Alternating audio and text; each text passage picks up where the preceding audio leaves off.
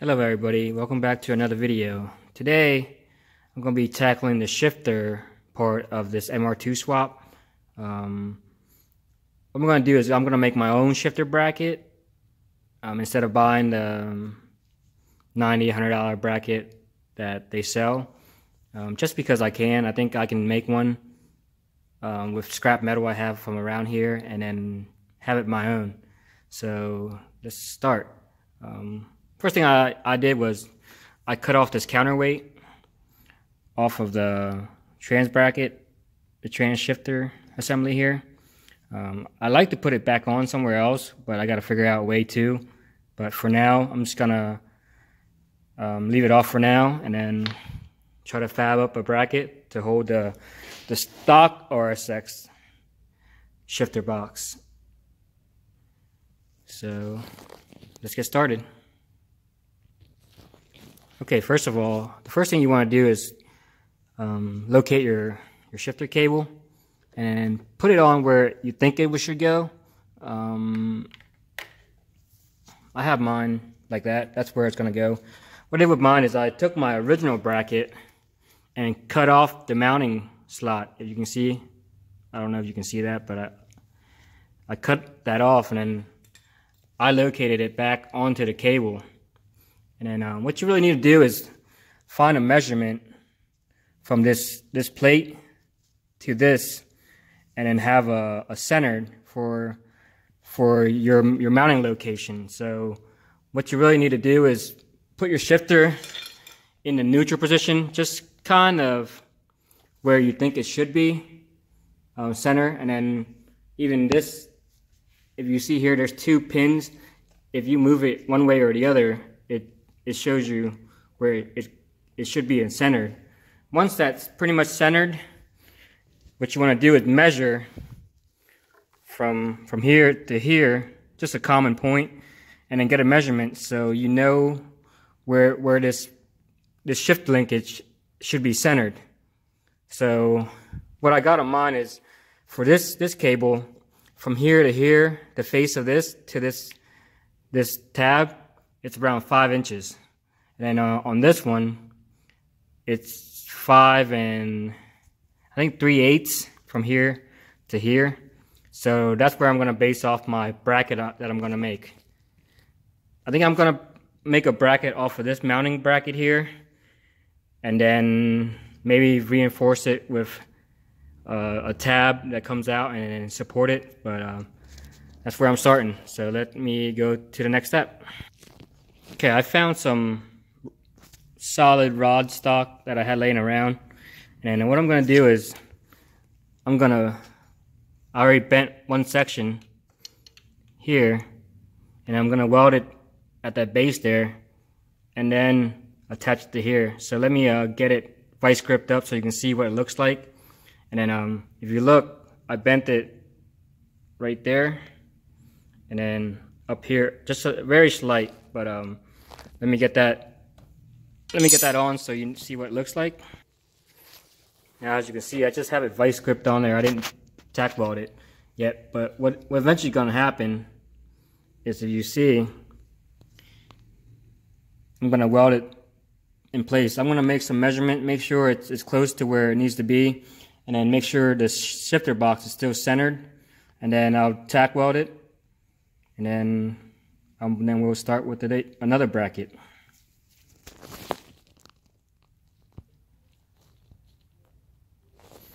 All right, I got this piece lined up, vice gripped up, and just making sure that it's straight so you have a nice, you know, solid shift um, that your cable is not going to bind up. But that's where this cable is going to be. Um, what I'm going to do is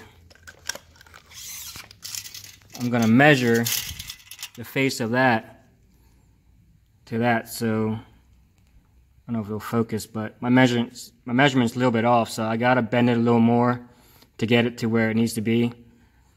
But um, it's a start. Okay, if I adjusted the bracket back that it's the measurements that I want from here to here. And then now I'm just gonna grab my welder and tack it up. All right, I got my my welder on, and let's tack this up.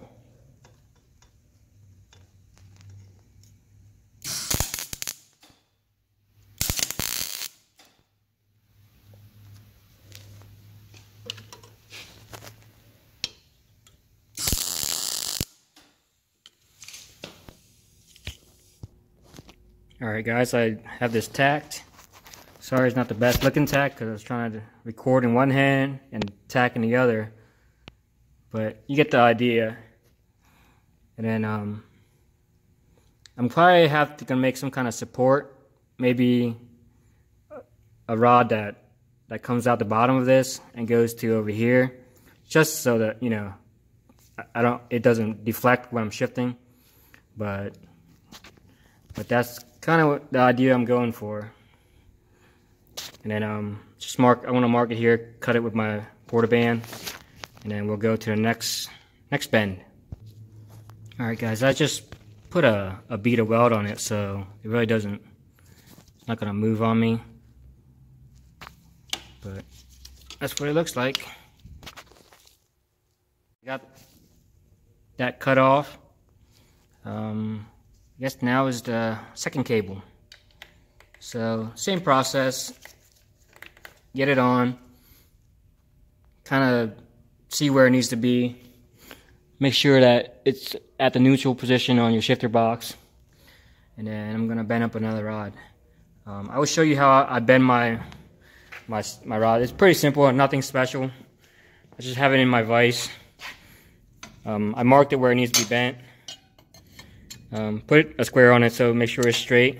And then I usually just use the hammer and beat it until it bends. So let me bend it and I'll show you the result.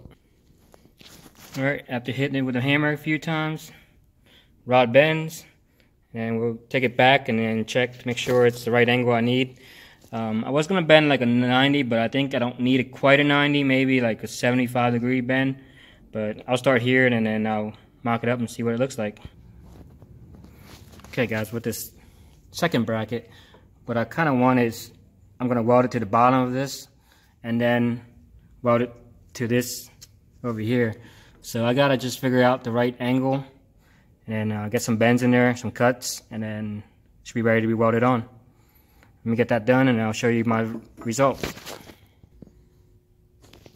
Alright guys, as you can see, uh, my bend's a little bit off. I bent it a little bit too much, but you get the idea. This this piece is to get welded to that, and then that's going to get it to there, and then that's pretty much how it's going to hold the shifter up. Alright guys, I have the shifter pretty much where I wanted it. Measurement's good. Everything's pretty centered on the shifter itself. I uh, just made a, a, small tack there and a tack down here so I can take my vice grip out. It, it should stayed in place. Now I'm just gonna finish welding it, the the two the two brace, and then I'm gonna make some more bracing across the, the bottom, and then we'll see how solid it is. All right, guys. Got that welded on there. And that welded underneath there. It's kind of hard to focus. But that should be where the cable is gonna sit. Um, I'm gonna make a, a bracket off of these bolts. I know some people make a metal bracket off of here, but um, this is the way I'm, I'm gonna make mine. And then I'm gonna run some more rods from there to there to support it. So it's nice and solid and it should work for what I need it to be. Um, and I know save me a couple dollars making it myself from scrap metal instead of spending, you know, $90 I think they are from Hux Racing and and shipping and whatever tax. So I think for a couple bucks, it's pretty simple to make one. But let me get some more brackets together and I'll show you the result. Alright guys, I just noticed there's a a bracket here that's a metal bracket for this clutch line. What I'm thinking I'm do is going to take that off and then base my other um, rod from there to there because it's already there and it's metal and then I can just weld right to that and then if I ever wanted to take this off I can just unbolt it and it'll all come off as one piece so I think that's what I'm gonna do. You see there's a metal bracket there and then we'll get some some pieces on. Alright guys I've just bent that bracket. Um, welded it right there to that bracket you can see I just took the line off but the line sits right there so I can put a little clip back on it paint it and then it should be good to go. Um, the support I welded it there just tacked, tacked there. Um, it's gonna be pretty solid once I get all the the support in so I think it should work pretty good. So let me get some more welds and bend some more brackets up and then I'll show you the finished result alright guys I got pretty much everything welded up I made a gusset from here to there, one there, added this one to that tab, and it's pretty sturdy. Um, I did mess up a little bit on, on this one up here.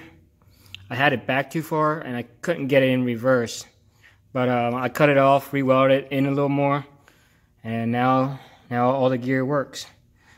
So I'm going to show you here.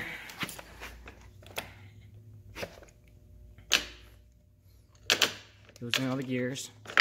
Reverse.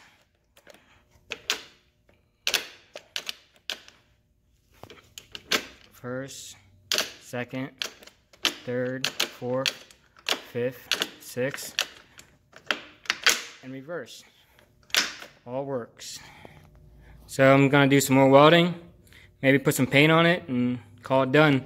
And if, if I feel that in the future it's moving too much or it has too much sway, I can always add more support. But um, but here it is, pretty much in a nutshell of what I made.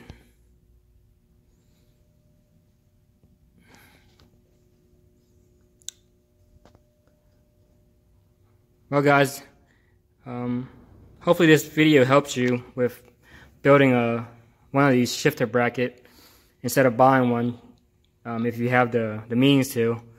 Um, if not, you can always buy it. You know, it's not that much money, but I think it's a little fun little project to do. And I think I have maybe eight bucks in into this. I actually had some rod left over, but I ran out, so I had to go out and buy a new stick, which is it was 7.49 at Tractor Supply. So I think you can, overall, some time, $8, you can have uh, a shifter bracket. And then, but other than that, everything works. And if, if you like this video, uh, feel free to comment, share, and subscribe. Um, I will be updating my channel with more videos as as uh, time pro progress. But uh, hope you enjoyed it. Thanks, guys. Have a good one.